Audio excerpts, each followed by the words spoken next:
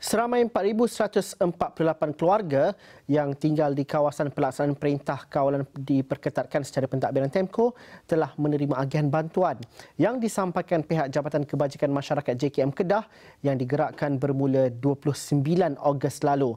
Pengarah JKM Kedah Azmi Abdul Karim menjelaskan agihan terbabit melibatkan beberapa barangan keperluan penduduk seperti beras, minyak masak, gula, kopi dan beberapa barangan lain dalam mengurangkan bebanan penduduk yang tidak dapat keluar dari kawasan berkenaan.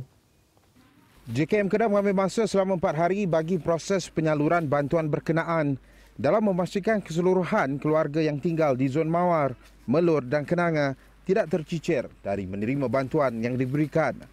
Dalam pada itu, tinjauan Wakil Astro Awani Kedah di lokasi berkenaan mendapati beberapa agensi badan bukan kerajaan NGO termasuk Yayasan Sultanah Bahiyah turut terlibat dalam proses penyaluran bantuan bekalan asas kepada penduduk. Hari ini kami baru masuk hari pertama sebab kami hantar uh, sumbangan beras dan anggota produk Nestle lah untuk uh, family yang terkesan lah berapa banyak?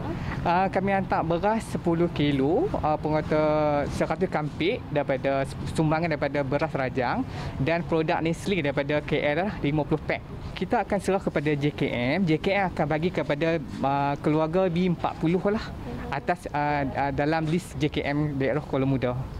Tambah Zarul, inisiatif yang dilakukan ini bagi memastikan penduduk tidak tertekan atau terkesan dengan bekalan makanan atau bahan basah yang terhad sepanjang penguasaan PKPD pentadbiran.